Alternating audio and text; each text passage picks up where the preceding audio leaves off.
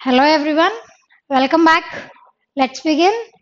The first one Which bank has partnered with Life Insurance Corporation of India credit card services to launch the co branded credit card? That is IDBI. What is IDBI అండి industrial development bank of India దాని head quarters ఇక్కడ ఉన్నాయి Mumbai right okay ఇప్పుడు మనందరికీ తెలిసిన విషయం ఏంటి అని అంటే ఐడిబిఐ యొక్క ఫిఫ్టీ వన్ పర్సెంట్ స్టేక్స్ అన్ని ఎల్ఐసి ఎల్ఐసి తీసుకుంది. Right fifty one percent of IDBI stakes are in the hands of LIC ఇప్పుడు ఈ ఐడిబిఐ బ్యాంక్ అనేది ఏం చేస్తుంది అని అంటే ఎల్ఐసితో క్లబ్ అయ్యి it is making some co branded credit cards. జనరల్గా మనకు తెలుసు కదా క్రెడిట్ కార్డ్స్ అంటే ఐడిబిఐ బ్యాంక్ ప్రొడ్యూస్ చేసే క్రెడిట్ కార్డ్ కాకుండా అది ఎల్ఐసితో కలిసి in partnership with LIC it is starting some co branded credit card. Clear next one What should be the minimum capital of small finance banks as per RBI's new guidelines? Under on tap regime ఎంతండి? Any guesses that is two hundred crores ఇది వరకు మొన్నటి దాకా last year వరకు ఎంత ఉండేది అని అంటే ఇట్ వాజ్ హండ్రెడ్ క్రోర్స్ అనమాట ఇదేంటండి? Minimum capital. Small finance banks. అంటే చిన్న తరహాలో బ్యాంక్ని ఆర్గనైజ్ చేయాలి అని అంటే మినిమం క్యాపిటల్. ఇన్వెస్ట్మెంట్ పెట్టాలి కదండి. ఏ ఫర్మ్ అయినా బిజినెస్ ఆర్గనైజేషన్ అయినా. అలాగా ఒక చిన్న తరహా బ్యాంక్ పెట్టాలి అని అంటే దానికి మినిమం ఇన్వెస్ట్మెంట్ క్యాపిటల్ వచ్చేసి టూ హండ్రెడ్ క్రోర్స్ అనమాట ఇది వరకు ఎంత ఉండేదండి? హండ్రెడ్ క్రోర్స్ ఉండేది. ఇప్పుడు దాన్ని ఏం చేశారు? టూ హండ్రెడ్ క్రోర్స్కి ఇంక్రీజ్ చేశారనమాట minimum capital. Clear? Next one. Who headed the expert committee that has recommends RBI to revise the guidelines on concurrent audit system దీనికి హెడ్ ఎవరంటే అండి? ఎస్ది హిర్జీ మలేగం ఓకే ఈయన గురించి మీరు చాలా వినే ఉంటారు. ఈయన్ని ఇప్పుడు ఎక్స్పర్ట్ కమిటీకి హెడ్గా నియమించారు. ఎస్ది హిర్జీ అనే ఆయన ఆర్బీఐలో ఈయనంత సర్వీస్ చేసిన వాళ్ళు ఎవరు లేరనమాట ఇప్పటివరకు. ఈయనే అట్మోస్ట్ ఇంకా మాక్సిమం నెంబర్ ఆఫ్ ఇయర్స్ ఆర్బీఐకి సర్వీస్ చేసినది ఎవరు అనంటే it is none other than హీడ్స్ the Malegam అనమాట ఇప్పుడు ఈయన్ని ఎక్స్పర్ట్ కమిటీ హెడ్ కింద నియమించారు. ఎందుకండి ఆ కమిటీ అనంటే concurrent audit system concurrent audit system అంటే ఏంటండి జనరల్గా ఇప్పుడు ఏదైనా ఫర్మ్ ఉంది ఆర్గనైజేషన్ ఉంది దానికి ఆడిటింగ్ కూడా ఉంటుంది కదండి. ఎవరు చేస్తారండి? ఆడిటింగ్ అనేది సిఏలు చేస్తారు. He is a CA Indian CA అన్నమాట ఇతను చార్టర్డ్ అకౌంటెంట్. అయితే ఈ చార్టర్డ్ అకౌంటెంట్స్ ఆడిట్ చేస్తూ ఉంటారు కదండి. ఇది related to only financial organisation. అదే నేషనల్ లెవెల్ స్టేట్ లెవెల్ మళ్ళీ డిఫరెంట్ ఉంటాయి. మీకు ఆల్రెడీ చెప్పాను కదా. Controller and auditor general controller general of state అని చెప్పేసి. అది స్టేట్ లెవెల్ కాగ్ అనేది national level. But here when it comes to financial sector that might be some PSU or that might be some banking sector. వాటికి వచ్చేసి audit system ఉంటుంది కదండి. Auditing అంటే ఏంటి? అకౌంట్ అకౌంట్స్ స్క్రూటినైజ్ చేయడం అనమాట concurrent audit system అంటే ఏంటంటే ఎప్పటికప్పుడు వీళ్ళ అకౌంట్స్ సరిగ్గా మెయింటైన్ చేస్తున్నారా లేదా? కరెక్ట్గా బ్యాలెన్స్ అవుతున్నాయా లేదా అన్ని? ఏమైనా కంప్లైంట్స్ రైజ్ అవుతున్నాయా? రైజ్ అయితే వీళ్ళు క్లియర్గా ఇన్ టైంలో క్లియర్ చేస్తున్నారా లేదా? రిజాల్వ్ చేస్తున్నారా లేదా? ఏ ఇష్యూస్ అయితే ఉంటాయో ఆ ఇష్యూస్ అన్నింటినీ వీళ్ళు వీళ్ళు రిజాల్వ్ చేస్తున్నారా లేదా? ఇన్ టైం రెజల్యూషన్ వస్తుందా లేదా? ఇంకా అప్రైజల్స్ అప్రైజల్స్ ఉంటాయి కదండి?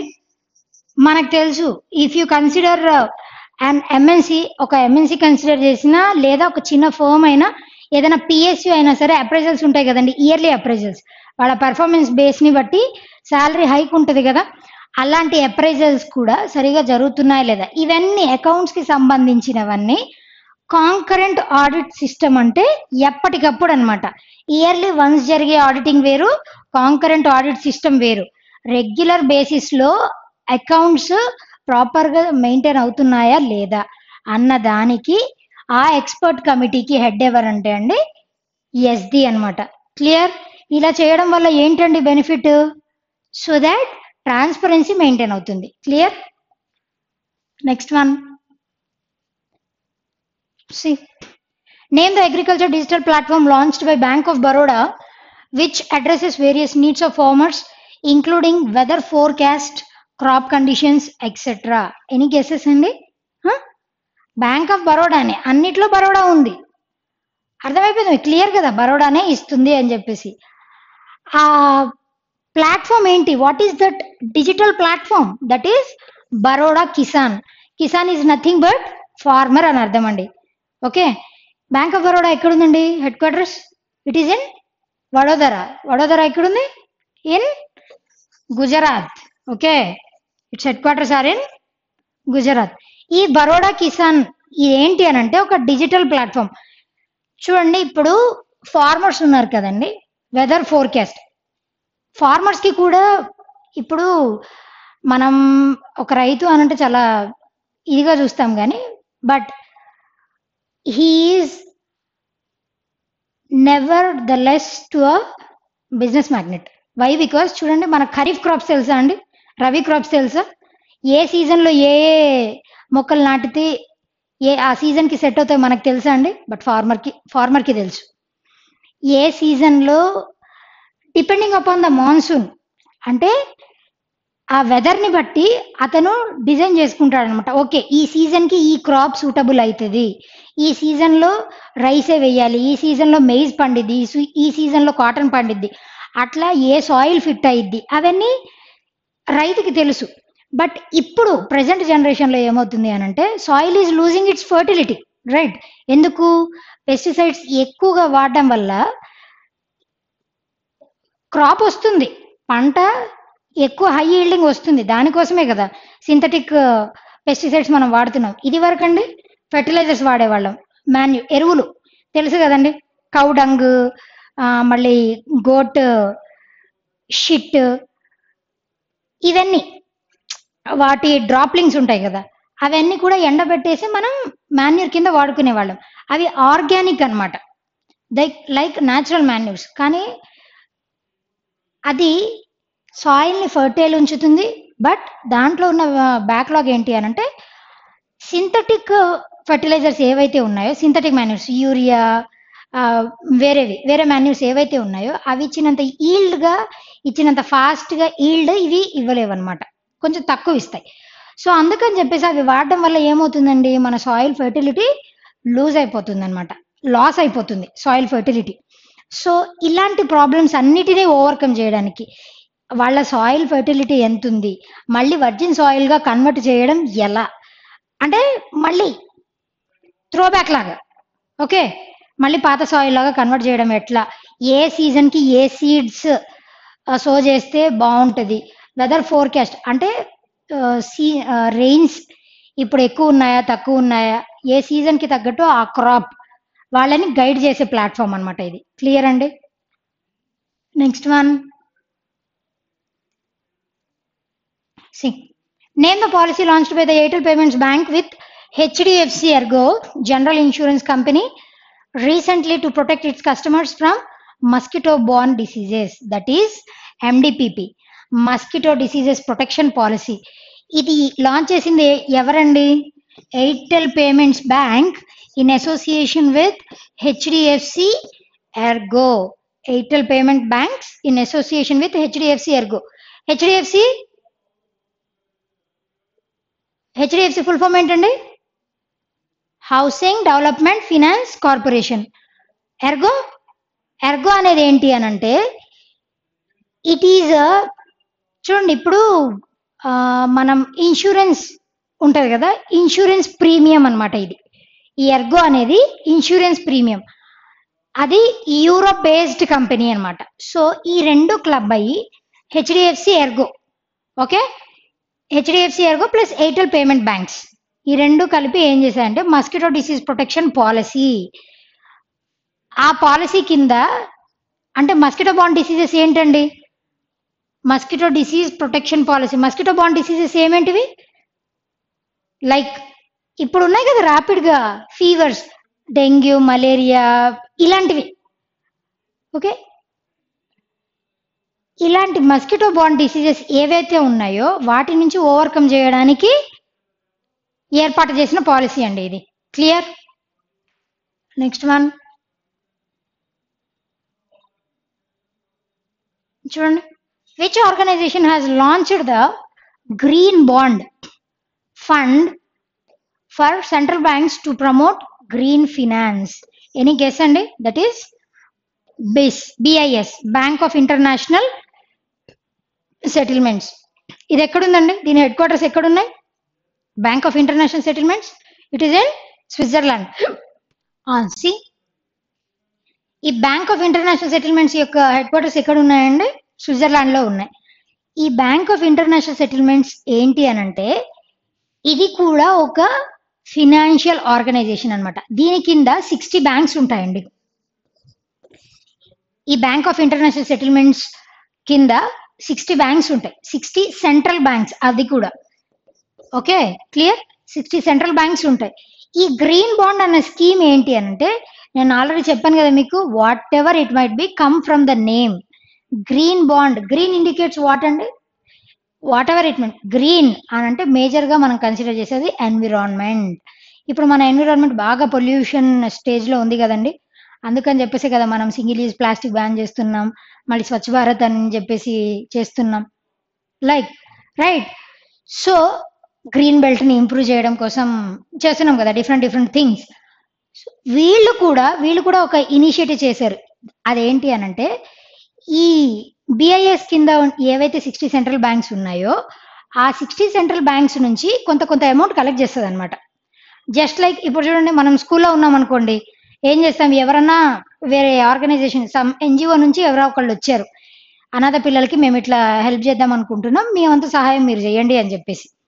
ఆ స్కూల్లో నా దగ్గర వన్ రూపీ ఉంటే వన్ రూపీ టూ రూపీస్ మీ దగ్గర ఫైవ్ రూపీస్ టెన్ రూపీస్ అట్లా ఎవరికి తోచినంత వాళ్ళు ఇస్తారు.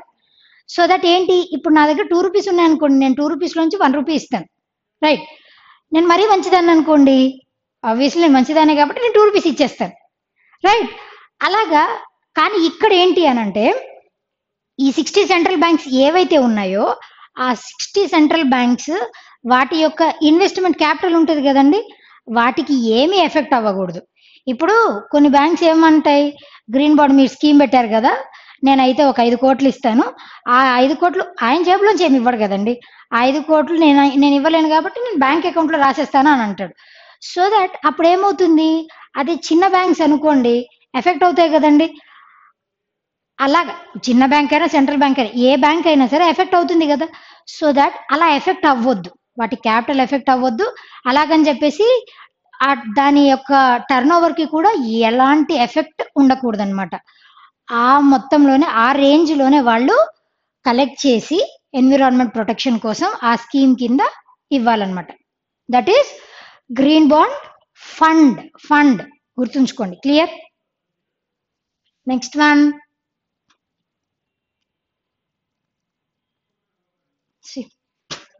who is author of the book titled book Savarkar? Titled Savarkar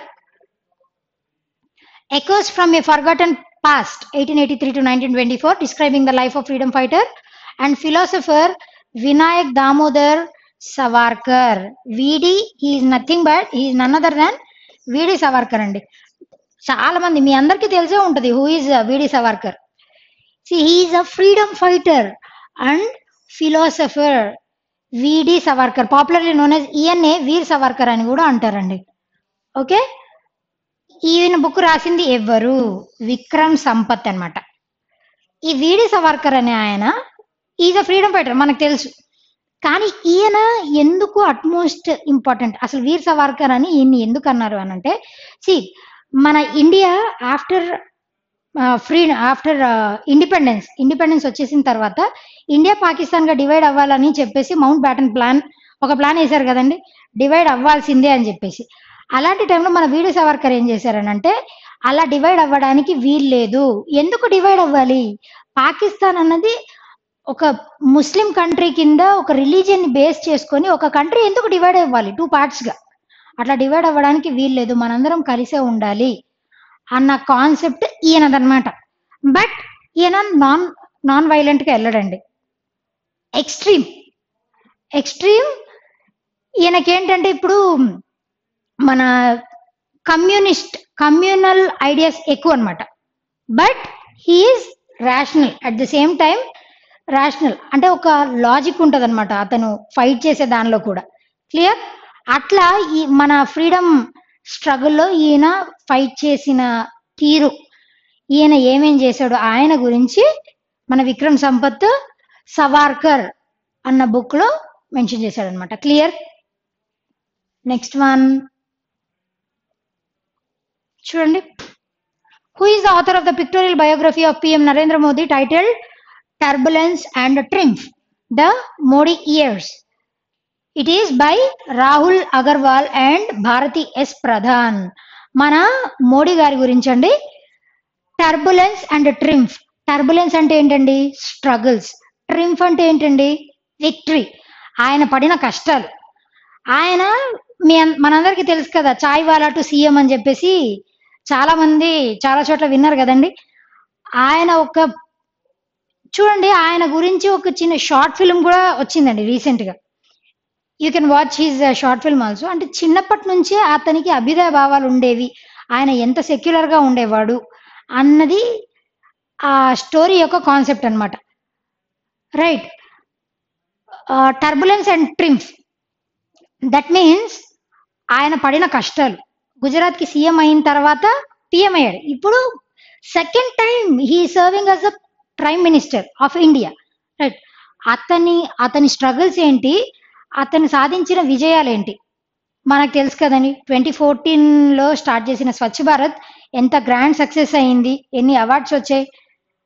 Make India make in India made in India many concepts ఈ have introduced right? So అతని గురించి వీళ్ళిద్దరూ ఈ బుక్లో రాశారనమాట క్లియర్ అండి? Next one.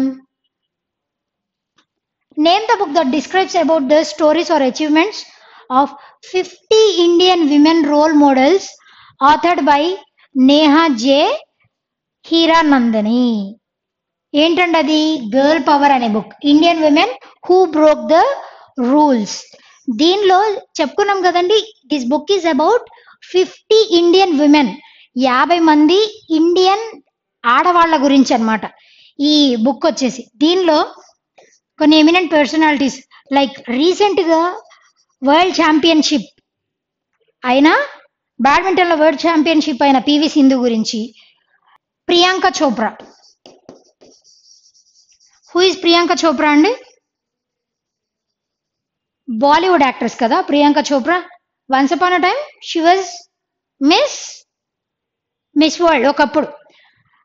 ప్రియాంక చోప్రా గురించి పివి సింధు గురించి ఇట్లా fifty Indian women role models. అంటే వాళ్ళు ఎంచుకున్న ఫీల్డ్ ఏదైనా సరే. ఇంకా రివాల్వర్ దాది అని.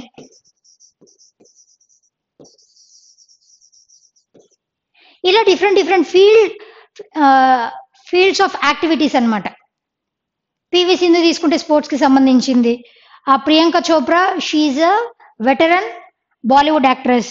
Revolver Dadi ఈవిడేంటి అని అంటే అట్మోస్ట్ ఇండిపెండెంట్ అనమాట ఏమన్నా సి ఎవరినన్నా సరే మనం డౌన్ ట్రాడన్ కానీ ఎక్కడైనా ఇంజస్టిస్ జరుగుతుంది అని అంటే షీల్ బి దేర్ అనమాట సో ఇలాగా ఫిఫ్టీ ఇండియన్ విమెన్ అంటే ఏంటండి? విమెన్ గురించి అప్లిఫ్ట్ చేయడమే ఈ బుక్ యొక్క ముఖ్య ఉద్దేశం. Clear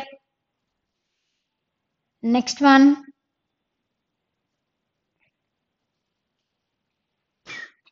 who unveiled the new comic book series Professor Ayushman. Professor Ayushman, conceived by National Medicinal National Medicinal Board that raise awareness in children about the importance of medicinal plants and their usage. That was by whom and Shripad Yesso Naik అన్నమాట ఈయన comic book series professor Ayushmann AYUSH అనేది ఒక organisation ఉందండి. మన- మనందరికీ తెలిసే ఉంటుంది. ఆయుష్ అంటే ఏంటండి? దట్ ఈస్ ఆయుర్వేద వై అంటే యోగా యునాని మెడిసిన్ సిద్ధహస్త అండ్ హోమియోపతి. వీటన్నిటి గురించి ఆయుష్మాన్ అంటే కామెడీగా సో దాట్ చిల్డ్రన్కి ఎలా ఉండాలండి మరి? వాళ్ళకి సీరియస్గా ఇలా అలా అని చెప్తే పెద్ద పెద్ద వర్డ్స్ యూజ్ చేసి మెన్షన్ చేస్తే వాళ్ళకి అర్థం కాదు కదా.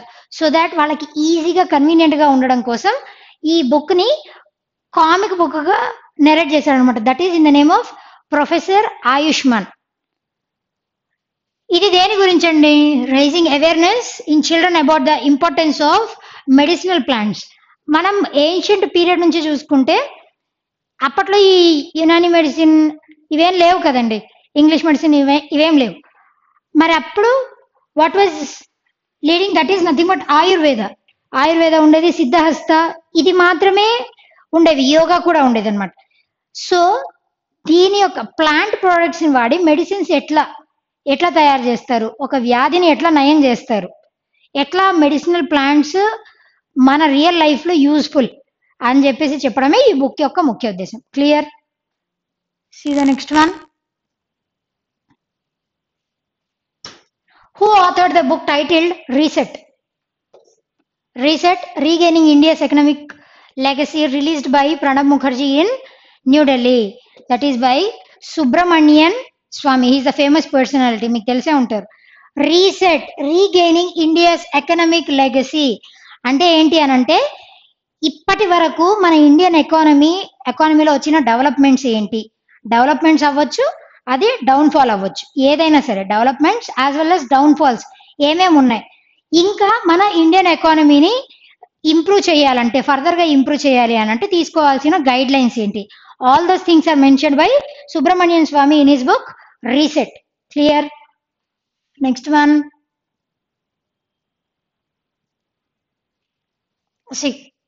who is the author of the book Lal Bahadur Shastri politics and beyond any guess it is Sandeep Shastri సింపుల్గా గుర్తుపెట్టుకోవాలంటే ఏం లేదండి. లాల్ బహదూర్ శాస్త్రి సందీప్ శాస్త్రి. ఓకేనా అలా గుర్తుంచుకోండి. లాల్ బహదూర్ శాస్త్రి అనే ఆయన ఎవరండి? మన మన ఇండియాకి second prime minister Lal Bahadur Shastri. ఈయన not only is a prime minister he also led a great and and he had given a tough battle in our freedom fight right తెలుసు మనందరికీ వాట్ హీ హ్యావ్ డన్ ఆయన పేరు మీదుగా లబాసన.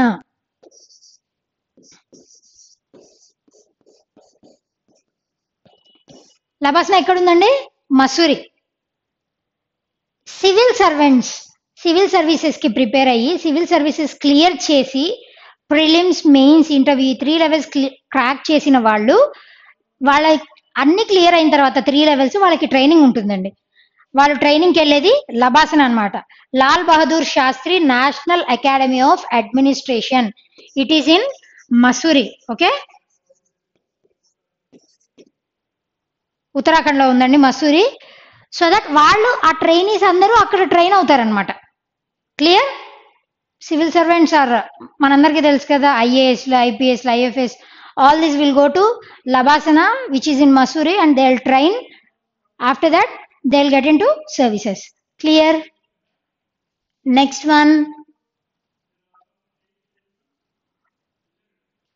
Name the deceased Italian bodybuilder, powerlifter, actor, and author who won Mr. Olympia in the year 1976 and 1981 and nicknamed as the the Sardinian strong man.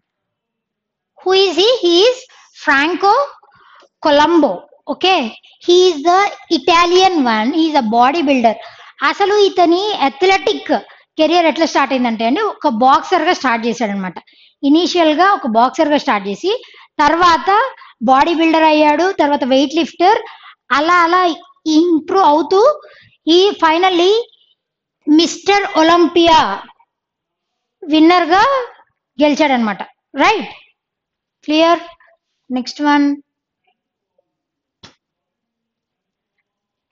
United States born Lashawn Daniels familiarly known as big Shiz passed away ఎవరండి ఆయన? Song writer అనమాట big షిజ్ అంటే shit అనుకోకండి. Shiz is nothing but cool అని okay big cool guy cool person cool type person అని okay ఈయన United States born ఈయన song writer అన్నమాట. సి ఈయన రాసిన సాంగ్స్లో R and blue R and B అన్న సాంగ్కి గ్రామీ అవార్డు వచ్చింది. టూ థౌజండ్ వన్లో గ్రామీ అవార్డు కూడా వచ్చిందనమాట ఇంకా చాలా అవార్డ్స్ వచ్చాయి. ఈయన ఫెమిలియర్ సాంగ్స్ ఏంటి అని అంటే same I name like one more song Destiny's Child ఇలా చాలా ఫెమిలియర్ సాంగ్స్ రాశాడనమాట క్లియర్ అండి? Next one Who among the following is the senior lawyer and former union law minister who passed away in Delhi ఎవరండి? రామ్ జెట్మలాని గారు. మనందరికీ తెలిసే ఉంటారు. He is a veteran lawyer ఇతను సెవెంటీన్ కే అతను ఎల్ఎల్బి క్లియర్ చేశాడండి. సెవెంటీన్ ఇయర్స్ థర్టీన్ కే మెట్రికులేషన్ క్లియర్ చేశాడు. సెవెంటీన్కి ఎల్ఎల్బి క్రాక్ చేశాడనమాట ఈయన మన యూనియన్ లా మినిస్టర్గా ట్వైస్ వర్క్ చేశాడు. థర్టీ ఫైవ్ ఇయర్స్ ఆయన కెరియర్ లాకే అంకితం చేశాడనమాట లా మినిస్టర్. ఈయన హ్యాండిల్ చేసిన కేసెస్లో ప్రామినెంట్ కేసెస్ లైక్ రీసెంట్గా ఇప్పటికి ఇప్పటికి జరుగుతుంది కదండి బాబ్రీ మసీద్ కేసు. కొట్టుకుంటున్నాం కదా. హిందూస్ అది మాది వీళ్ళు మాది అని చెప్పేసి. ఆ బాబ్రీ మసీద్ కేసు. దానిలో కూడా హీ వాజ్ దేర్ ఆ కమిటీలో కూడా ఈయన ఉన్నారనమాట ఒకప్పుడు. And even Rajiv Gandhi's murder case ఉంది కదండి అది కూడా డీల్ చేసింది మన రామ్ జెట్మలాని గారు అనమాట ఆయన రీసెంట్గా ఈ passed away is of ninety five years అండి. ఈయన ఒక కేసుని హ్యాండిల్ చేశారు అని అంటే నో వన్ టాక్స్. రైట్? అంటే లాజిక్ ఉండాలి కదండి ఏం మాట్లాడినా కూడా. సో అంత లాజికల్గా అంత క్లియర్ కట్గా ఉంటది ఆయన వాదన అన్నది క్లియర్ నెక్స్ట్ వన్ చూడండి. Robert Frank who attained fame through the book the Americans passed away he was a photographer ఈ అమెరికన్స్ అన్నది ఒక బుక్ అండి. ఈ బుక్లో ఒక ఫోర్ నైన్టీ నైన్ ఫోటోగ్రాఫ్స్ని లైక్ కొన్ని ఇన్యూమరబుల్ ఫోటోగ్రాఫ్స్ని ఎయిటీ ఫోటోగ్రాఫ్స్ కింద ఏం చేశాడంటే అతను వాటన్నిటిని మెర్జ్ చేసేసి ఎయిటీ ఫోటోగ్రాఫ్స్ కింద తయారు చేశాడనమాట ఎప్పుడు అనంటే సెకండ్ వరల్డ్ వార్ జరిగింది కదండి? సెకండ్ వరల్డ్ వార్ ఎప్పుడు జరిగిందండి? Thirty nine to forty five second world war అయిపోయిన తర్వాత ఆ వరల్డ్ వార్లో ఎంత హింస జరిగింది? వరల్డ్ వార్ తర్వాత వరల్డ్ ఎట్లా ఉంది? Especially especially England England Europe ఈ దేశాలు ఎట్లా ఉన్నాయి? అని చెప్పేసి ఆ ఆ ఫొటోస్ అన్నిటినీ మెర్జ్ చేసి కంప్రెస్ చేశాడనమాట ఎయిటీ ఫొటోస్గా కంప్రెస్ చేసి ఒక బుక్ని రిలీజ్ చేశాడు. ఆ ద అమెరికన్స్ అన్న బుక్. ఆ బుక్ చాలా పాపులరైజ్ అయిందనమాట అలాగా ఆయన చాలా photographs తీశాడనమాట he is a photographer. He recently passed away. Next one.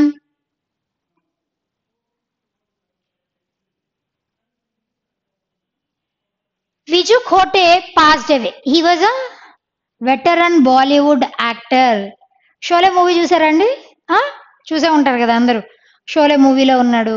ఇంకా చాలా మూవీస్లో ఉన్నాడు. అందాజ్ అప్నా అప్నా. ఆ, గల్తీ సే ఈయన ఫేమస్ డైలాగ్ అండి. గల్తీ సే మిస్టేక్ హోగా గల్తీ సే మిస్టేక్ హోగా లైక్ దట్ ఇలాగా చాలా నియర్లీ ఫైవ్ హండ్రెడ్ uh, ఫిల్మ్స్లో యాక్ట్ చేశాడు అనమాట ఈయన. ఈ recently passed away clear next one name the organisation which has unveiled the app named good vibes a communication tool for deaf and blind people. That is samsung. Okay ఏంటి అంటే అండి చూడండి. Good vibes అన్నది ఒక app దేనికి? It's like a communication tool for deaf and blind people ఇప్పుడు చూడండి కొంతమంది బ్లైండ్ ఉంటే ఓకే వాళ్ళకి బ్రెయిలీ లిపి ఉంది. డెఫ్ ఉంటే దే కెన్ సీ కదా. They can see they can talk అలా కాకుండా డెఫ్ చెవులు వినబడకుండా అట్ ద సేమ్ టైం కళ్ళు కనబడకుండా. ఈ రెండు అనుకోండి. కనబడకుండా వినబడకుండా. కవులు అయితే అప్పుడు మనం ఏం చేయాలి? అప్పుడు వాళ్ళకి యూజ్ అయ్యే యాప్ ఏంటి అని అంటే గుడ్ వైబ్స్ అన్న యాప్ సామ్సంగ్ లాంచ్ చేసిందనమాట ఏంటి అనంటే దీనిలో ఏముంటాయనంటే సి లైక్ ఇలా డాట్స్ ఉంటాయండి. Dots dashes combination of dots and dashes దీన్నే మనం మార్స్ కోడ్ అంటాం. Okay Morse code combination of dots and dashes అలా ఉంటదన్నమాట లాంగ్వేజ్ అంటే ఏంటి? వాళ్ళు they can touch and identify ఆ డాట్స్ని డాషెస్ని టచ్ చేసి ఐడెంటిఫై చేయొచ్చు అనమాట వాళ్ళు. So that they can read whatever they want clear అండి? Next one name the project launch by ISRO in order to detect debris in space and other hazards in Indian satellites, which would act as a step for SSA. Any guess, అండి That is nothing but Project నేత్ర ఈ project ఏంటి అని అంటే నేత్ర అనేది ఒక network system అన్నమాట. Netra is a network system using radars radars and telescopes that is Netra project ఈ ప్రాజెక్ట్ ఏంటి అని అంటే ప్రాజెక్ట్ లాంచ్ చేసింది ఇస్రో అండి. డిటెక్ట్ డెబ్రిస్ ఇన్ స్పేస్ స్పేస్లో ఇప్పుడు మనం పంపించిన రాకెట్స్ అన్ని రాకెట్స్ శాటిలైట్స్ ఏవేవైతే పంపిస్తామో అవన్నీ ఏమవుతాయండి? పైకి వెళ్ళిన వెంటనే అవి విడిపోతాయి కదా. మొత్తం మనం పంపించిందంతా పైకి వెళ్ళిపోదు కదండి? అలాగ విడిపోయి ఫైనల్గా ఒక పార్ట్ మాత్రమే వెళ్తుంది. అలాగా విడిపోయి పడిపోతే చూడండి. ఆ చెత్త ఏదైతే ఉందో అది కింద ఓషన్లో పడేటట్టు వాళ్ళు ప్లాన్ చేస్తారనమాట అట్లా పడిపోయిన చెత్త ఏదైతే డెబ్రిస్ ఉంటుందో కింద పడిపోయిన చెత్త యాజ్ వెల్ యాజ్ స్పేస్లోకి వెళ్ళిపోయిన తర్వాత కొన్ని కొన్ని అక్కడే బంబాడైపోయి పడిపోతాయి. కొన్ని కింద ఓషన్లో పడతాయి. ఇవి ఉంటాయి కదండి చెత్త. డెబ్రిస్ ఈజ్ నథింగ్ బట్ చెత్త అన్నమాట.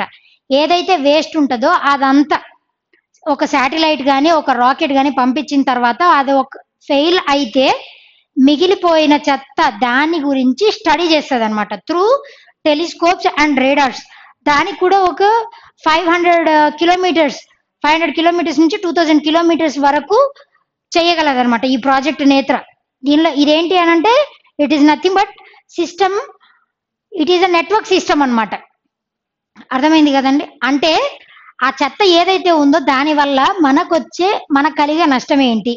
అవి రిలీజ్ చేసే గ్యాసెస్ ఏంటి? లేకపోతే వాటి వల్ల ఇంకా ఏమైనా నష్టాలు ఉన్నాయా వాటిని ఫర్దర్గా రాకెట్స్లో కానీ సాటిలైట్స్లో కానీ అవి మళ్ళీ పనిచేస్తాయా? రీయూజబులా కాదా? ఇలాంటివన్నీ స్టడీ చేయడానికి స్టార్ట్ చేసిన ప్రాజెక్టే ప్రాజెక్ట్ నేత్ర అనమాట క్లియర్ అండి? Next one UNESCO has decided to translate and publish an anthology of anthology of writings of Guru Nanak Dev to mark his five fifty eighth birth anniversary anthology అంటే ఏంటండి? Collection of literary work అన్నమాట. Okay? Of the writings of Guru Nanak Dev Guru Nanak Dev ఎవరండి? Who is Guru Nanak Dev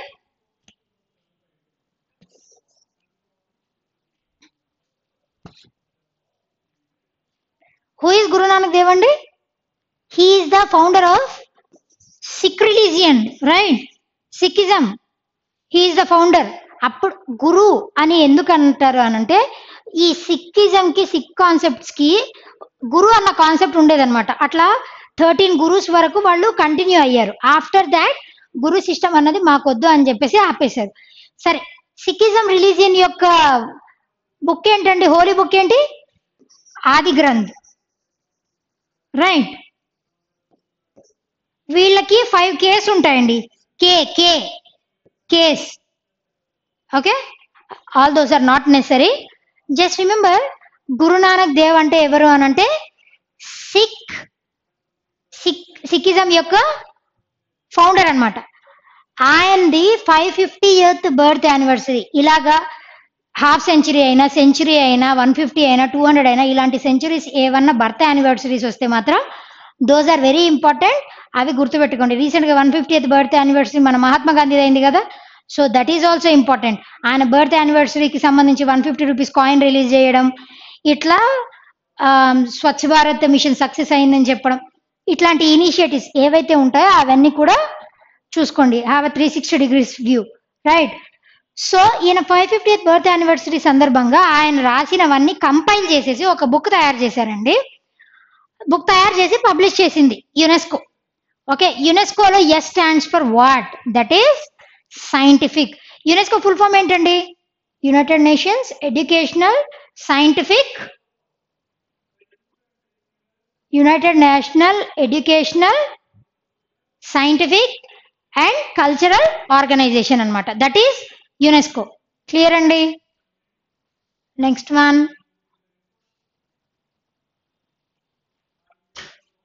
Name the first Indian, first Asian, and 44th person in the world to complete Enduro-Roman arch to arc triathlon by breaking world record for the shortest completion time in 50 hours 24 minutes. Who is he?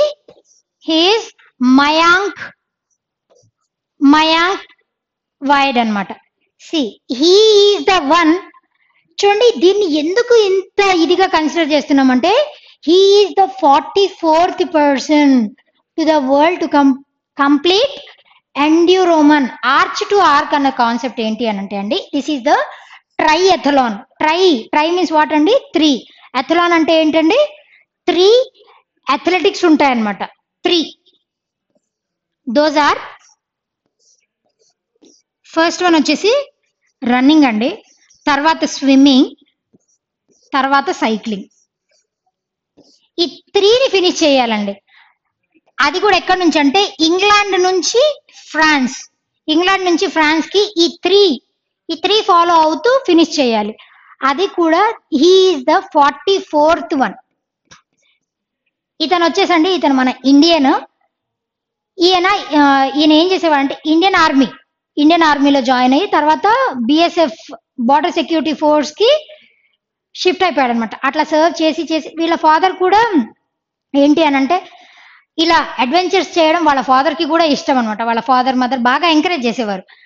అలా అలాగా ఆయనకు వచ్చిన encouragement ఆ Indian ఆర్మీలో బిఎస్ఎఫ్లో that means what వాళ్ళకి ఒకటే motto ఉంటుంది. They are well disciplined ఒకటే మోటో అలాగా సర్వీస్ అయిపోయిన తర్వాత ఏం చేయాలి? ఏదన్నా అడ్వెంచరస్గా చేస్తే బాగుంటది అని చెప్పేసి ఈ టఫెస్ట్ వన్ అన్నమాట. This is the toughest fight ever given by anyone okay దీనిలో ఈయన forty fourth person to complete.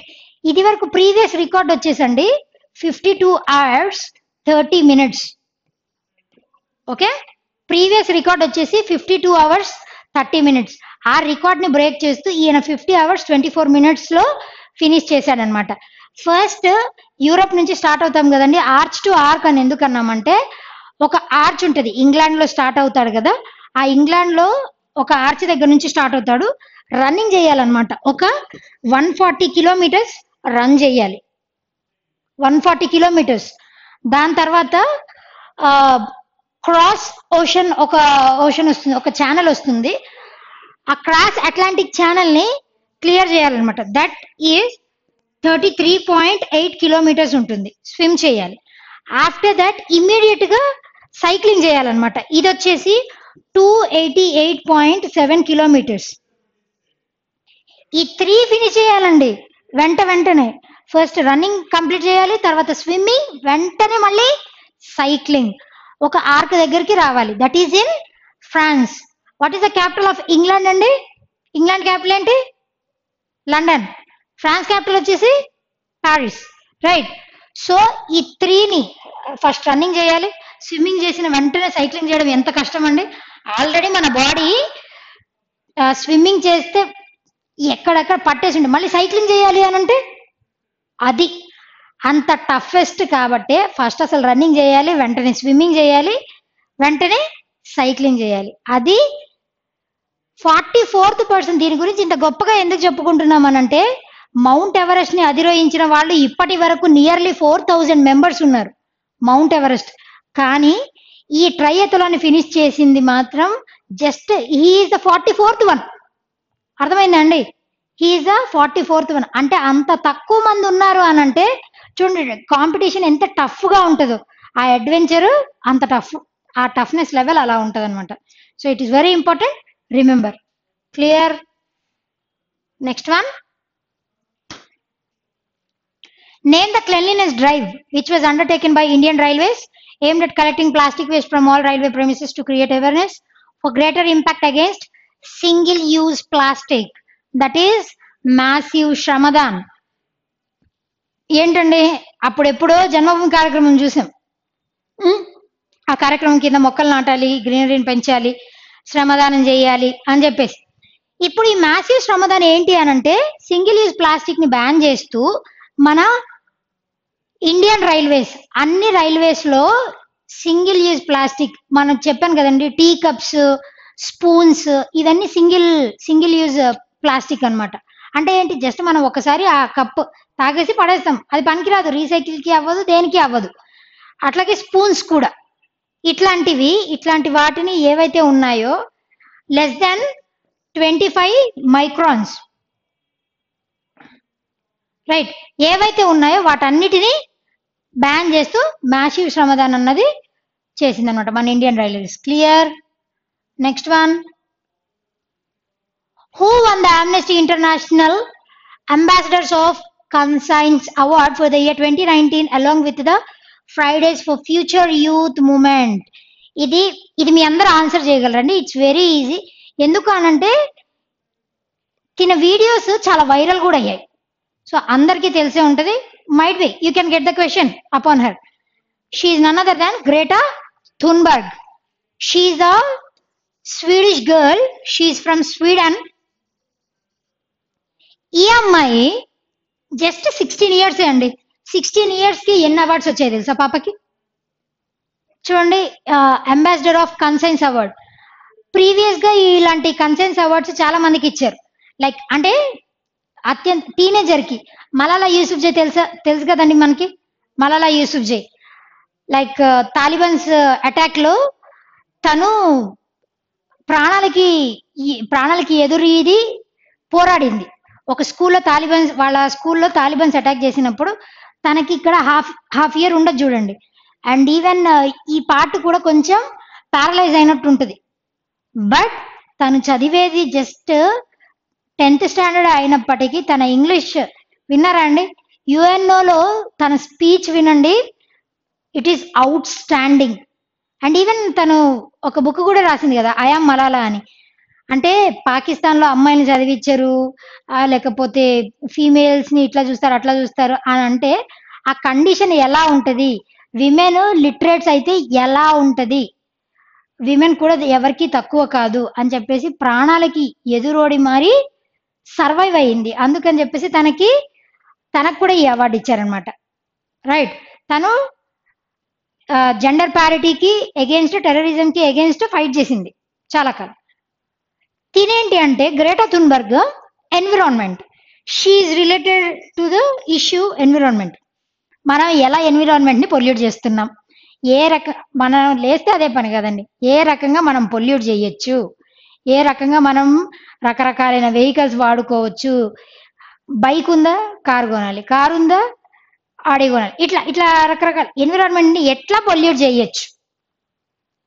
Right so ఇలా మనందరం ఓకే అందరం పొల్యూట్ చేస్తున్నాం పొల్యూట్ చేస్తున్నాం అదొక్కటి మాత్రమే డిస్కస్ చేసుకుంటాం కానీ but she's the one who came forward and fight for the for the safeguard of environment అన్నమాట. మనం ఎట్లా పొల్యూట్ చేస్తున్నాం? మన ఎన్విరాన్మెంట్ని సేవ్ చేసుకోకపోతే ఫ్యూచర్లో ఎలాంటివి ఎలాంటి పరిణామాలు జరుగుతాయి? అండ్ ఈవెన్ తినకి ఆస్పర్జిస్ సిండ్రోమ్ అని ఒక సిండ్రోమ్ ఉందండి. ఆస్పర్జిస్ అని ఒక సిండ్రోమ్ ఉంది. అంటే ఏంటి అని అంటే మ్యూట్ తను ఎక్కువ మాట్లాడదు. ఆ పిల్లకి అది syndrome syndrome is nothing but ఒక డిసీజే కదండి.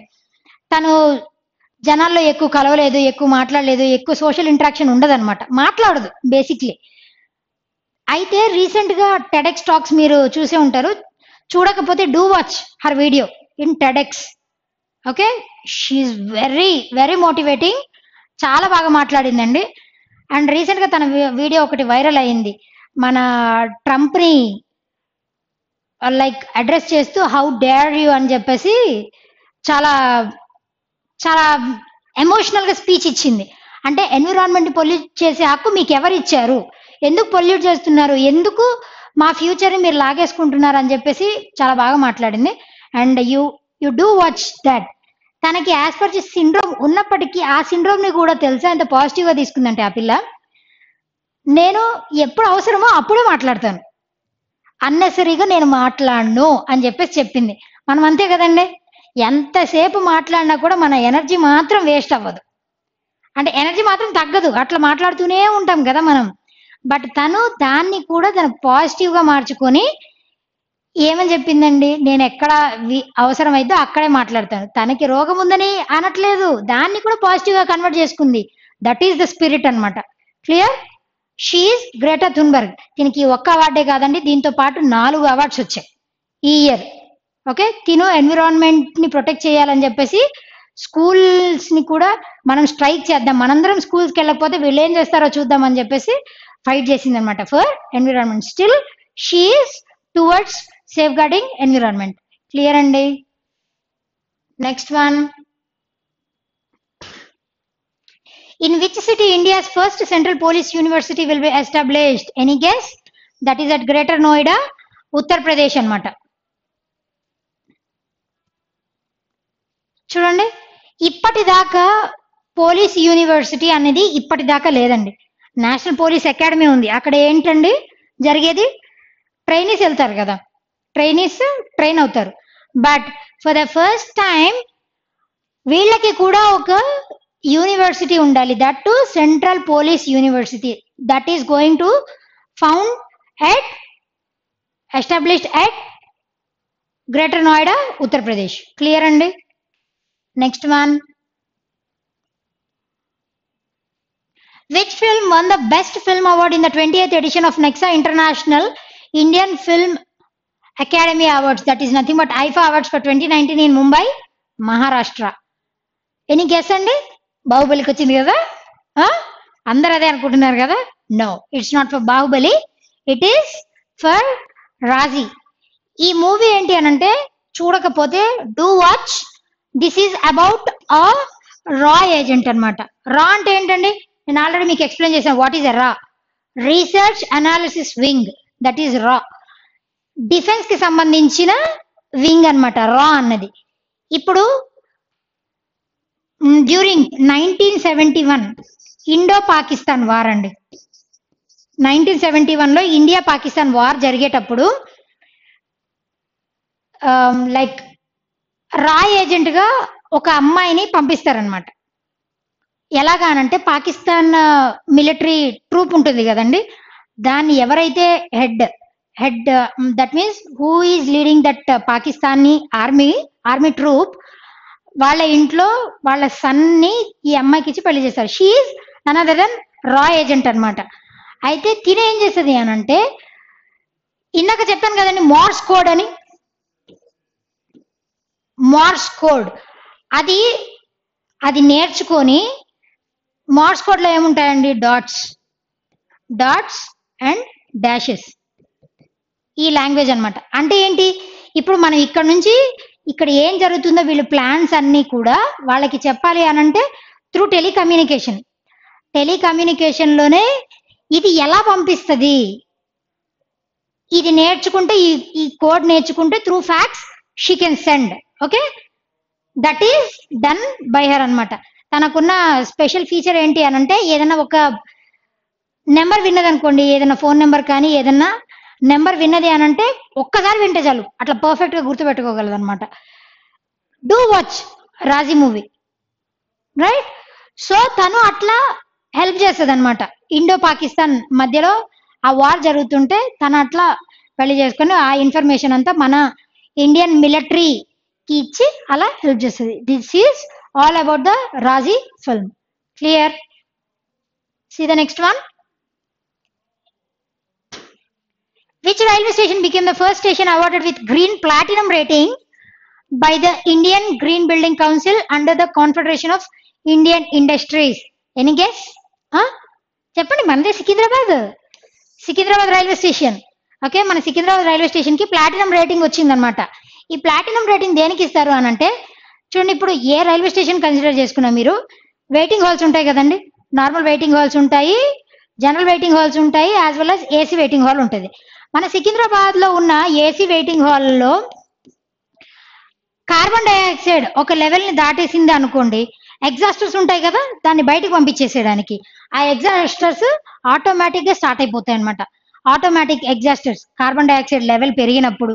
ఇంకా క్లెన్లీనెస్ మెయింటైన్ చేయడం. ఇంకా ప్లాస్టిక్ రీసైకిల్డ్ ప్లాస్టిక్ ఇంకా టెక్నాలజీ వీటన్నిటిని కన్సిడర్ చేసి మన సికింద్రాబాద్ రైల్వే స్టేషన్కి ప్లాటినం రేటింగ్ ఇవ్వడం జరిగిందనమాట క్లియర్ నెక్స్ట్ వన్ చూడండి. Poshan Maah focuses on five critical components for the year twenty nineteen which of the following is not among them that is nothing but malaria it is not among them okay చూడండి. First thousand years thousand days of the child anaemia అంటే మీకు తెలుసు. Blood మనకి minimum level ఉండాలండి. Eleven to thirteen విమెన్కి అయితే ఆ మేల్కి అయితే థర్టీన్ టు ఎయిటీన్ ఆ రేంజ్లో ఉండాలి. ఎనీమియా హెచ్బి పర్సెంటేజ్ చూస్తాం కదండి హెమోగ్లోబిన్ అలా ఉండాల్సిన దానికంటే నార్మల్ లెవెల్ కంటే తక్కువ ఉందనుకోండి they are treated as anaemic పాలిపోయినట్టు ఉంటారు చూడండి కొంతమంది. కలర్లెస్ అయిపోతారు. అరే నువ్వేంటి మస్తు కలర్ వస్తున్నావు అని అనుకుంటాం కదా. అది కలర్ కాదండి. వాళ్ళు ఎనిమిక్ అయిపోతే అట్లా అవుతారనమాట అంటే వాళ్ళ బ్లడ్ లెవెల్ తగ్గిపోతే అట్లా ఎనిమిక్ పాలిపోయినట్టు ఎల్లో కలర్లో అయిపోతారు. That is anaemia hand wash and sanitation cleanliness గురించి. ఇంకా ఇది మాత్రమే కాదండి.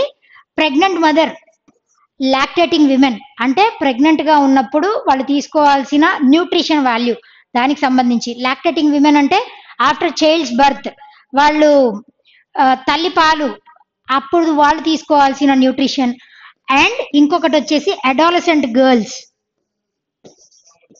అడాలసెంట్స్ అంటే ఎవరండి? ఎదుగుతున్న పిల్లలు. ఓకే? Adolescent girls. ఇప్పుడు మన అడాలసెంట్స్ అది గర్ల్స్ అవ్వచ్చు బాయ్స్ అవ్వచ్చు ఎవరైనా సరే అండి వాళ్ళకి బాడీలో చేంజెస్ జరిగేవి ఎప్పుడు అనంటే డ్యూరింగ్ దిస్ పీరియడ్ ఉంది అడాలసెన్సీ. ఆ పీరియడ్లో కరెక్ట్గా మనం పోషణ అందించాలి. ఇప్పుడు చూడండి మొక్క చిన్నగా ఉందండి. అప్పుడు మనం కరెక్ట్గా దానికి నీళ్ళు పోసి మ్యాన్ ఎరువులు వేసి కరెక్ట్గా చేసామనుకోండి సప్పని పెరిగిద్ది. అవునా?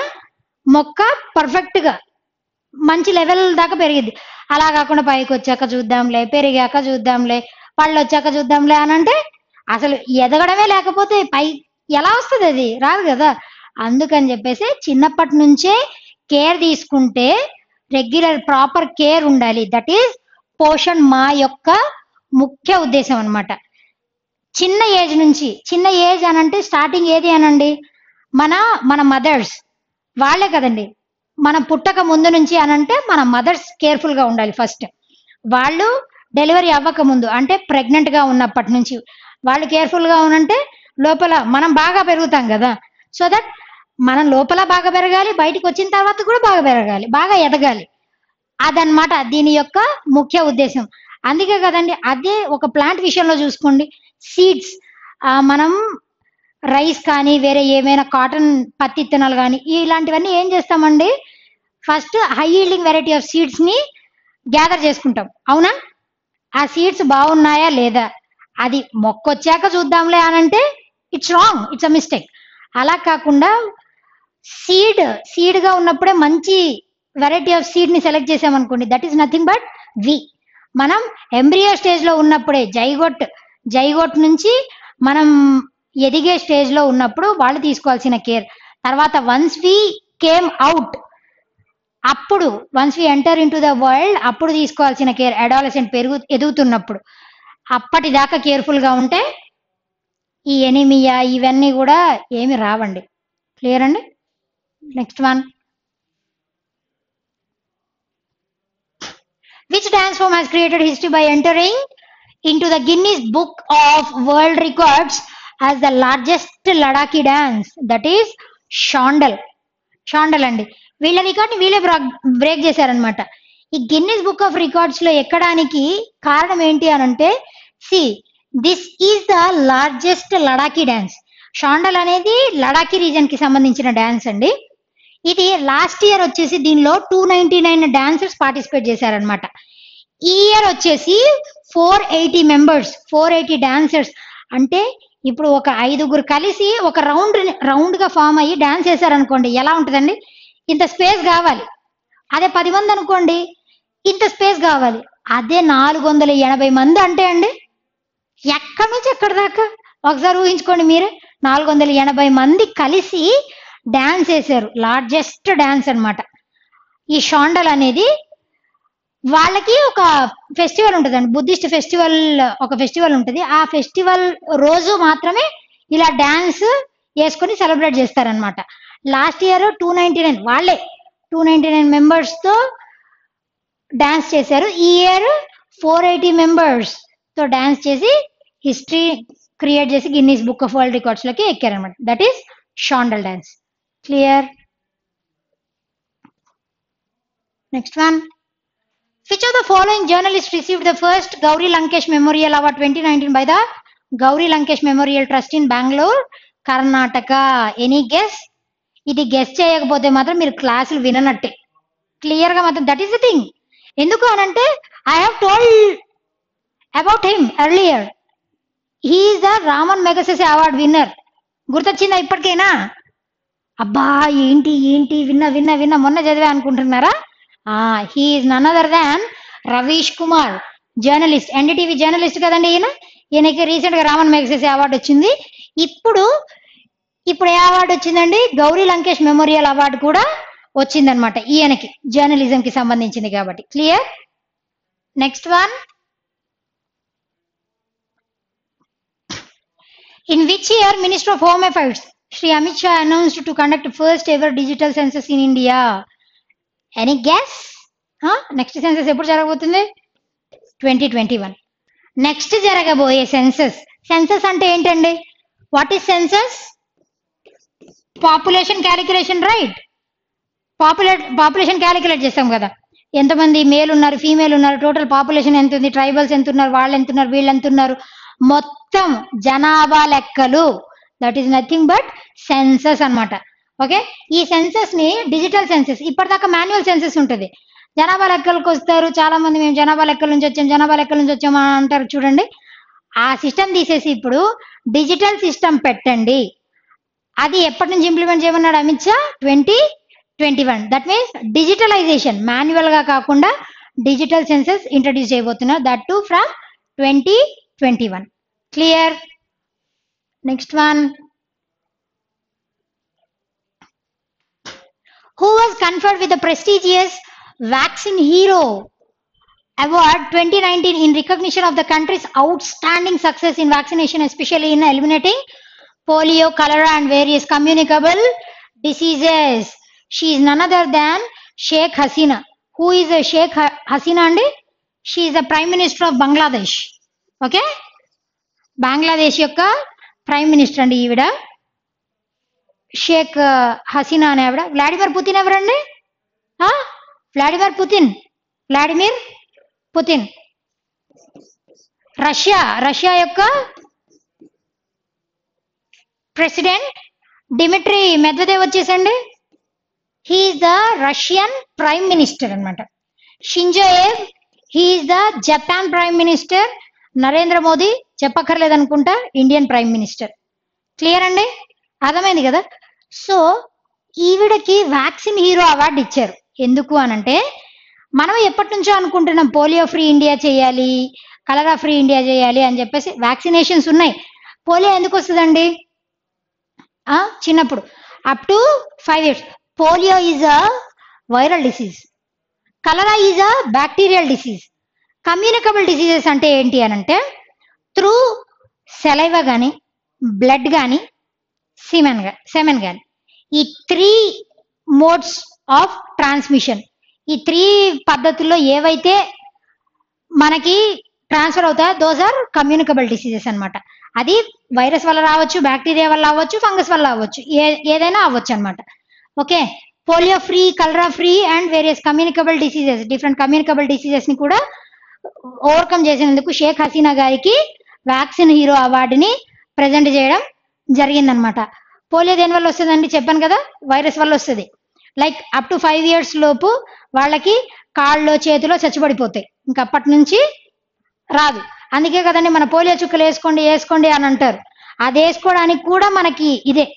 అందుకే వ్యాక్సినేషన్ ఈజ్ మస్ట్ అది డిపిటి అయినా లైక్ బీసీజీ uh, అయినా ఎంఎంఆర్ అయినా ఏ వ్యాక్సిన్ అయినా సరే do vaccinate the children without fail like polio cholera అన్నది బ్యాక్టీరియల్ డిసీజ్ అండి. కలరా ఎట్లా స్ప్రెడ్ అవుతుందో మీ అందరికీ తెలుసు. ఎలా స్ప్రెడ్ అవుతుందండి షిట్ ఉంటుంది కదా? షిట్ మీద ఫ్లైస్ వాలేసి మన మనం తినే ఫుడ్ మీద కానీ వాటర్ మీద కానీ వాలాయనుకోండి ఆ ఫీకల్ మ్యాటర్ మీద ఉండే వేస్ట్ అంతా కూడా దానిలో వచ్చి ఆ ఫుడ్ని కానీ వాటర్ని కానీ మనం కన్జ్యూమ్ చేసుకున్నప్పుడు కలరా వస్తుంది అనమాట ఇది చెప్పాను కదా త్రూ సెలైవా బ్లడ్ ఇలాగా స్ప్రెడ్ అవుతా ఉంటుంది అనమాట ఒకళ్ళ త్రూ ఇంకొకళ్ళకి. కమ్యూనికబుల్ డిసీజెస్ హెపటైటిస్ బి అనుకోవచ్చు టీబీ ఇట్లా డిఫరెంట్ డిఫరెంట్ డిసీజెస్ అనమాట రైట్ అర్థమైంది కదండి? Right next one see who launched TB Harega Desh Jeetega campaign and national TB prevalence survey twenty nineteen in New Delhi. ఎవరండి launch చేసింది? హర్షవర్ధన్. మన union health minister ఈయన ఏం చేశారు అని అంటే టీబీ హారేగా దేశ్ జీతేగా క్యాంపెయిన్. చెప్పానండి మీకు ఆల్రెడీ టీవీలో రెండు రకాలు ఉంటాయి. టీవీలో వచ్చేసి రెండు రకాలు ఉంటాయండి that is multi drug resistant TB extended TB ఈ రెండు రకాలు ఉంటాయండి మల్టీ డ్రగ్ రెసిస్టెంట్ టీవీ అంటే ఏంటి అని అంటే వాళ్ళకి త్రీ మంత్స్ సిక్స్ మంత్స్ ఇది వరకు ఎలా ఉండేది అని అంటే సిక్స్ మంత్స్ మెడిసిన్ వాడాలి వాళ్ళు. వాడితే తగ్గిపోతుంది. అలా కాకుండా కొంతమంది ఏం చేస్తారని అంటే మధ్యలో వాడకుండా ఇర్రెగ్యులర్గా యూజ్ చేయడం వల్ల వాళ్ళకి నెక్స్ట్ వేరే మెడిసిన్ ఏదన్నా వాడినా కూడా ఏమైపోతుందంటే ఇట్ వాంట్ ఎఫెక్ట్ అనమాట పని చేయదు ఇంకా. అలా వచ్చేది మల్టీ డ్రగ్ రెసిస్టెంట్. తర్వాత వేరే డ్రగ్స్ వాడినా కూడా పనిచేయదు ఇంకే డ్రగ్ వాడినా పనిచేయదు that is MDR TB extended TB అంటే ఏంటి అని అంటే ఇంకా ఇంకా వేరేవి ఏమి వాడినా కూడా ఇంకా ప్రొలాంగ్డ్ టీబీ ఉంటుంది చూడండి. దట్ ఈస్ ఎక్స్టెండెడ్ టీబీ అనమాట రీసెంట్గా రెండు డ్రగ్స్ని కూడా కనిపెట్టారని చెప్పాను. ప్రిటూమనిడ్ అండ్ బెడాక్విలిన్ ఈ రెండు డ్రగ్స్ ఎందుకు అండి? దీనికి మెయిన్ రీజన్ ఇంకొకటి ఏంటి అంటే యాంటీమైక్రోబియల్ రెసిస్టెన్స్ మీకు ఇది కూడా చెప్పాను. AMR that is nothing but having microbes developing resistance against antibiotics యాంటీబయాటిక్స్కి అవి రెసిస్టెన్స్ డెవలప్ చేసుకొని యాంటీబయాటిక్స్ మనం ఎన్ని మింగినా కూడా పనిచేయడం అనమాట అది. యాంటీ మైక్రోబియల్ రెసిస్టెన్స్ వల్ల ఎక్స్టెండెడ్ టీవీ టీవీ అనేది వస్తుంది. ఈ ప్రిటోమినెట్ బెడాక్విలిన్ ఈ రెండు కాంబినేషన్లో వాడితే తగ్గొచ్చు. Still it is in research అనమాట బట్ ఈ డ్రగ్ వాడొచ్చు అని చెప్పేసి it is in news clear అండి? TB Harega. Harega means what TB ఓడిపోతుంది. దేశ్ దేశం గెలుస్తుంది. అది ఎప్పుడండి? వాళ్ళు చెప్పిన మెడిసిన్ మనం రెగ్యులర్గా వాడినప్పుడు. ఏంటి? టీబీ ఎఫెక్టెడ్ పర్సన్స్ అప్పుడు మాత్రం టీబీ ఫ్రీ ఇండియా అవుతుంది. TB Harega? Desh Jeetega. Right next one which country has proposed to form the tripartite mechanism with Bangladesh and Myanmar to monitor and assess on the ground repatriation process for the displaced Rohingya people. It is nothing but China. Tripartite అంటే ఏంటండి? Alliance between alliance among three countries అన్నమాట. అది ఏవేంటి అండి? Bangladesh Myanmar and China ఈ మూడు కలిసి ఒక ట్రైపార్టెడ్ అలయన్స్గా ఫామ్ అయ్యి రోహింగ్యాస్ ఆల్రెడీ మీకు లాస్ట్ వీడియోలో చెప్పాను Rohingyas are they are the refugees Myanmar refugees వాళ్ళు రెఫ్యూజీస్ అయ్యాక రెండు పార్ట్స్లో ఎస్పెషల్లీ బంగ్లాదేశ్ అండ్ ఇండియా ఇక్కడ ఉన్నారు కదండి వీళ్ళు ఎక్కువ. అలా స్ప్రెడ్ అయిపోయి కొంతమంది బంగ్లాదేశ్ వెళ్ళిపోయారు కొంతమంది ఇండియా వెళ్ళిపోయారు. ఇప్పుడు ఇలా ఉన్న రెఫ్యూజీస్ని మళ్ళీ మనం Myanmar పంపించేద్దాం. That is nothing but repatriation వాళ్ళ మదర్ ల్యాండ్కి పంపించేద్దాం తిరిగి. అని ఎవరు ఒక అలయన్స్ ఫామ్ చేశారండి? ఏ మూడు? చైనా బంగ్లాదేశ్ అండ్ మయన్మార్ ఈ మూడు కలిసి ఒక ట్రైపార్టెడ్ అలయన్స్ ఫామ్ చేశాయి. బట్ వాళ్ళు వెళ్ళమంటున్నారు కదా. బట్ వాళ్ళని కన్విన్స్ చేసి మళ్ళీ వాళ్ళ మదర్ ల్యాండ్కి పంపించాలి. సో దట్ అక్కడ ఉన్న వాళ్ళు కూడా రోహింగ్యాస్ వస్తే యాక్సెప్ట్ చేసేలాగా ఉండాలి. వీళ్ళల్లో కూడా ఒక కాన్ఫిడెన్స్ని బిల్డ్ చేయాలి. అది వీళ్ళ యొక్క మోటో అనమాట clear next one name the actress who has been chosen as good will ambassador by the chief electoral office in the Maharashtra to create awareness among people about the importance of voting. She's Madhuri Dixit. చెప్పుకోక్కర్లేదు ఈవిడ గురించి. తెలిసిందే కదండి మాధురి దీక్షిత్ గారి గురించి? దేవదాస్లో ఉంది చాలా పాత మూవీస్లో కూడా ఉంది. మాధురి దీక్షిత్. హమ్ ఆప్కే కౌన్? చాలా హిందీ మూవీస్ చాలా ఉన్నాయి. క్లియర్ ఈవిడ Madhuri Dixit she's a good dancer okay voting గురించి అంటే జనాల్లో ఓటింగ్ గురించి ఒక అవేర్నెస్ క్రియేట్ చేయాలి. క్రియేట్ చేయడం కోసం ఈవిని గుడ్ విల్ అంబాసిడర్గా ఎన్నుకున్నారనమాట ఏ ఏ గవర్నమెంట్ అండి? మహారాష్ట్ర గవర్నమెంట్ అర్థమైందా? గుర్తుంచుకోండి మహారాష్ట్ర గుడ్ విల్ అంబాసిడర్ దేనికండి? ఓటింగ్కి సంబంధించి. చాలా మంది ఆ మనం ఒక్క ఓటు వేయకపోతే ఏం పోయిద్దిలే? అని చెప్పేసి ఓట్లు వేయడం మానేస్తారు కదండి చాలా మంది అందుకని చెప్పేసి వాళ్ళలో ఒక అవేర్నెస్ క్రియేట్ చేయాలి. మనకి ఒక స్టోరీ కూడా ఉంది కదండి. రాజుగారు దేశంలో పాలు తక్కువైపోయి అందరినీ ఏ ఏం చెప్తాడండి? ఒక చెంబుడు పాలు తీసుకొచ్చి ఇది ఈ గంగానంలో పోయండి అని అంటాడు. ఒకడు ఏం చేస్తాడు తెలివిగా? ఆ నేను ఒక్కడే ఒక్క చెంబు పోయకపోతే ఏ పోయేదేముందిలే. అంతమంది అన్ని చెంబులు పోస్తారు కదా. మన ఒక చెంబు ఏమైనా కనిపిస్తుందా? అని చెప్పేసి ఆయన స్టార్ట్ చేస్తాడు. అట్లా ప్రతి ఒక్కళ్ళు వీడు పోయలేరు కదా మనం మనం పోయకపోతే ఏమైందిలే? అని చెప్పేసి ఎవరు పోయారు. నెక్స్ట్ డే చూసేసరికి అది గంగానం ఖాళీగానే ఉంటది. ఎందుకు? ఇలా ఒకళ్ళని చూసి ఒకళ్ళు అలా అనుకోబట్టి. అలా కాకుండా మీ ఒక్క ఓటు వేయకపోతే ఏం పోయిందిలే అని ఎవరు అనుకోద్దు every vote is very important ఆ అవేర్నెస్ క్రియేట్ చేయడానికి మాధురి దీక్షిత్ గారిని ఎంచుకున్నారనమాట క్లియర్ అండి? Next one world university of design hosted global goals jam three point o which focused on design thinking and service design methodologies was hosted with the theme what is that theme that is nothing but e-jam electronic jam అండి electronic jam అంటే ఏంటండి electronic waste ఏవైతే ఉంటాయో ఈ systems అవ్వచ్చు CPUs అవ్వచ్చు like టీవీలు అవ్వచ్చు రెఫ్రిజిరేటర్స్ ఇవి యూజ్ చేసిన తర్వాత మనం ఏం చేస్తాం జస్ట్ డంప్ డంప్ చేస్తాం కదండి అలా డంప్ చేస్తే దానిలో నుంచి కొన్ని మెటల్స్ రిలీజ్ చేస్తాయి కదా లెడ్ ఉంటుంది. అది వెరీ వెరీ డేంజరస్ వాళ్ళు ఏం చేస్తారంటే వాటిని రీసైకిల్ చేస్తారు ఒక లిక్విడ్లో పోసి దేనికి దాన్ని మళ్ళీ సపరేట్ చేసి రీయూజ్ చేస్తారనమాట okay recently it is in news కూడా. ఇట్లా చేయడానికి చైల్డ్ లేబర్ని పిల్లల్ని ఎక్కువ వాడుకుంటున్నారు టీనేజర్స్ని ఎక్కువ వాడుకుంటున్నారు. అలా యూజ్ చేయడం వల్ల ఏమవుతుందండి? మనం చాలా ఎక్కువ కాలం అట్లా మెటల్స్కి కాడ్మియం కి కానీ లేదా లెడ్కి కానీ ఎక్కువ Um, ఎక్స్పోజ్ అయ్యామనుకోండి క్రానిక్ డిసీజెస్ వస్తాయన్నమాట. రైట్ సో అలాంటి వాటిని అవాయిడ్ చేయడం కోసం e ఈ జామ్ ఈ ఈ జామ్ అన్నది ప్రాపర్గా యూటిలైజ్ చేస్తే అంటే రీసైకిల్ చేయగలిగినవి లేదనంటే వేస్ట్గా పడేయకుండా అదంతా కలెక్ట్ చేసి దాన్ని మళ్ళీ ఎలా వాడుకోవచ్చు? Optimum utilization of electronic gadgets after its use right so for that sake WD అన్నది గ్లోబల్ గోల్స్ జామ్ అని ఒక కాన్సెప్ట్ని తయారు చేసింది. క్లియర్ అండి?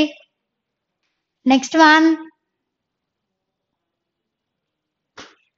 who was awarded with the global goal keeper award twenty nineteen by Bill and Melinda Gates Foundation for Swachh Bharat Abhiyan ఎవరండి? Any guess మీరు ఈ అవార్డ్స్ కనుక చూసుంటే ఈజీగా గెస్ చేసి ఉండేవాళ్ళు. చూడకపోతే డూ వాచ్ అండి. ఆర్ఎస్ టీవీలో ఈ అవార్డ్స్ గురించి ఉంది దట్ ఈస్ నరేంద్ర మోదీ. మన నరేంద్ర మోదీ గారికి గోల్ కీపర్ అవార్డ్స్ అనేవి ఏంటంటే అండి డిఫరెంట్ డిఫరెంట్ అది ఏ కంట్రీ అన్నా కావచ్చు ఒక గోల్ సెట్ చేసి ఆ గోల్ని రీచ్ అయిన వాళ్ళకి అంటే మాక్సిమం ఆ గోల్ని రీచ్ అయ్యి సక్సెస్ అయిన వాళ్ళకి ఇస్తారనమాట ఇట్లా గోల్ కీపర్ అవార్డ్స్ రీసెంట్ అవార్డ్స్లో లైక్ సౌత్ ఆఫ్రికాకి సంబంధించి ఒక ఆయన ఒక ఫార్మాసిటికల్ ఎంటర్ప్రెన్యూర్ మనం ఎందుకు మెడిసిన్ తయారు చేసుకోకూడదు? మనమే మెడిసిన్ తయారు చేయొచ్చు కదా అని చెప్పేసి ఒక ఫార్మా కంపెనీని స్టార్ట్ చేశాడనమాట ఎందుకు అని అంటే వాళ్ళకి మెడిసిన్ బయట నుంచి తెచ్చుకోవాలి కాబట్టి చాలా కాస్ట్ అయిపోతాయి అనమాట వాళ్ళకి. అదే మనమే తయారు చేసుకుంటే మనకి చాలా తక్కువగా దొరుకుతుంది కదా జనరిక్ మెడిసిన్ అట్లా ఫౌండేషన్ స్టార్ట్ చేసి ఈ జనరిక్ మెడిసిన్ సప్లై చేశాడనమాట తను. ఇంకా విమెన్కి సంబంధించి సౌత్ ఆఫ్రికన్ విమెన్ యూత్ని మోటివేట్ చేసిన దానికి గోల్ కీపర్ అవార్డ్స్ ఇట్లా మన నరేంద్ర మోదీ గారికి ఎందుకు ఇచ్చారంటే స్వచ్ఛ భారత్ అభియాన్. ఇది ఎప్పుడు లాంచ్ చేశారండి? ట్వంటీ ఫోర్టీన్ ఆయన అప్పుడు చెప్పారు ఏమని ఇండిపెండెన్స్ డేకి మళ్ళీ five years October second Gandhi Jayanti లోపు స్వచ్ఛ భారత్ ఈ మిషన్ని నేను సక్సెస్ చేస్తాను. స్వచ్ఛ భారత్ మిషన్ ఏంటండి అసలు? స్వచ్ఛ భారత్ స్వచ్ఛ భారత్ అంటుంటాం కదా ఏంటి ఆ మిషన్ కాన్సెప్ట్ చెత్త తీసుకెళ్ళి డస్ట్బిన్లో పడేయడమే అదొక్కటేనా? అది కాదండి. ఓపెన్ డెఫికేషన్ సిస్టమ్ని కంప్లీట్గా మ్యాక్స్ టు మ్యాక్స్ ఎలిమినేట్ చేసేయడం. ఓపెన్ డెఫికేషన్ సిస్టమ్ అంటే ఏంటండి? షిట్టికి పోవడం ఓపెన్లో అంటే ఇదివరకు ఆ ఊర్లలో చూడండి ఇదివరకు కాదు ఇప్పటికీ స్టిల్ ఊర్లలో ఏం చేస్తారంటే షిట్కి ఏం చేస్తారు? బయటికి వెళ్తారు కదండి. ఆరు బయట. వాళ్ళు అప్పట్లో విమెన్కి చాలా డిఫరెన్షియేషన్ ఉండేది కదండి. లేడీస్కి టాయిలెట్స్ ఉండవు కాబట్టి వాళ్ళు షిట్కి వెళ్ళాలి అని అంటే అయితే ఎర్లీ మార్నింగ్స్ వెళ్ళాలి లేదంటే ఎర్లీ నైట్స్ వెళ్ళాలి. అందుకని చెప్పేసి షిట్ వచ్చింది అనుకోండి పిల్లలు స్కూల్కి కూడా పోకుండా అలాగే ఉండేవాళ్ళు అనమాట అంతే కదండి. సో అలా వాళ్ళ ఎడ్యుకేషన్ ఎఫెక్ట్ అవ్వద్దు. వాళ్ళకి డిసీజెస్ ఇలాంటి ఎఫెక్ట్స్ ఏమీ ఉండదని చెప్పేసి స్వచ్ఛ భారత్ మిషన్ని స్టార్ట్ చేశారండి. ఈ మిషన్ కిందకి ఓపెన్ డెఫికేషన్ సిస్టమ్ వస్తుంది as well as clean and green కూడా వస్తుంది అనమాట క్లియర్ అండి? నెక్స్ట్ వన్ దానికి గాను మన మోదీ గారికి అవార్డు వచ్చింది. Clear next one who won the Shanti Swarup Bhatnagar prize twenty nineteen under the category engineering service engineering science ఎవరండి? మాణిక్ వర్మకి వచ్చింది. శాంతి స్వరూప్ భట్నాగర్ ప్రైజ్. అసలు ఈ శాంతి స్వరూప్ భట్నాగర్ ప్రైజ్ ఏంటి? సిఎస్ఐఆర్. సిఎస్ఐఆర్ అంటే ఏంటండి? Council of scientific and industrial research ఈ సిఎస్ఐఆర్ అనేది శాంతి స్వరూప్ భట్నాగర్ ప్రైజెస్ని ఇస్తుంది. శాంతి స్వరూప్ భట్నాగర్ అనే ఆయన ఎవరు అని అంటే సిఎస్ఐఆర్ యొక్క ఫౌండర్ అన్నమాట. ఓకే? ఆయన ఆయన పేరు మీదుగా టూ థౌజండ్ టూ నుంచి ఈ అవార్డ్స్ ఇవ్వడం స్టార్ట్ చేశారనమాట ఈ అవార్డ్స్ ఎవరెవరికి ఇస్తారనంటే జస్ట్ ఈజీగా గుర్తుపెట్టుకోవడానికి ఎంపీసీ బైపీసీ అని గుర్తుంచుకోండి. ఓకేనా? ఎం బైపీసీ అంటే మ్యాథమెటికల్ సైన్స్లో ఫిజిక్స్లో కెమి కెమిస్ట్రీలో బయాలజికల్ సైన్స్లో ఇవి మాత్రమే కాదండి ఇంకా planetary science okay? Astronomical science ఈ సైన్సెస్లో అత్యంత ఎక్సలెన్సీ చూపించిన వాళ్ళకి. అండ్ టెక్నాలజీ కూడా. ఈయన he's a technocrat Manik Varma అనే ఆయన టెక్నాలజికల్గా ఇంప్రూవ్మెంట్స్ చేశాడు కాబట్టి ఆయనకి Shanti Swarup Bhatnagar prize twenty nineteen ఇవ్వడం జరిగింది. క్లియర్ అండి? Next one name the first Asian who was appointed as the chairman of the international egg egg commission ఎవరండి? Suresh Chitturi international egg commission అబ్బో ఎగ్కి ఇలాంటి ఒక కమిషన్ ఉందా? తెలుసా అండి? ఇంటర్నేషనల్ ఎగ్ కమిషన్ అనే ఒక ఎగ్ కమిషన్ ఉందని? ఓకే? ఈ ఎగ్ కమిషన్లో డిఫరెంట్ డిఫరెంట్ కంట్రీస్ ఉంటాయండి. నియర్లీ వన్ ట్వంటీ కంట్రీస్ ఈ ఎగ్ ఇంటర్నేషనల్ ఎగ్ కమిషన్లో మెంబర్స్ అన్నమాట. అయితే ఇప్పుడు for the first time Asian ఆ దానికి ఆ ఇంటర్నేషనల్ ఎగ్ కమిషన్కి ఫస్ట్ ఏషియన్గా సెలెక్ట్ అయిన క్యాండిడేట్ వచ్చేసి సురేష్ చిత్తూరి అన్నమాట. ఈయన టర్మ్ వచ్చేసి టూ ఇయర్స్ ఉంటుంది. ఓకే ఎగ్ కమిషన్ పేరులోనే ఉంది కదండి? ఎగ్స్ గురించి. దాంట్లో ఉండే పోషకాలు ఏంటి? దాని విలువలు ఏంటి? ఎంత కన్జ్యూమ్ చేయాలి? దాని వల్ల వచ్చే బెనిఫిట్స్ ఏంటి? వీటన్నిటిని ప్రమోట్ చేయడమే ఈ కమిషన్ యొక్క ముఖ్య ఉద్దేశం. Clear next one